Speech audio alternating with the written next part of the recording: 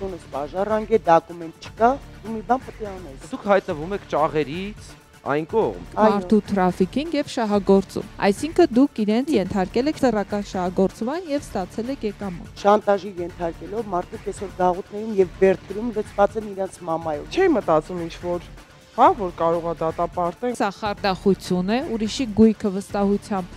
չարաշահել եք եւ ձեռք եք բերել։ Դա ուղակի զակազ է, որը կատարեցի։ Եթե ես իրան տրաֆիկինգ է ենթարկում, թող մնա մորտունը հետ չգա։ Արածիս համար դատապարտել։ Չարածիս համար մի դատապարտել։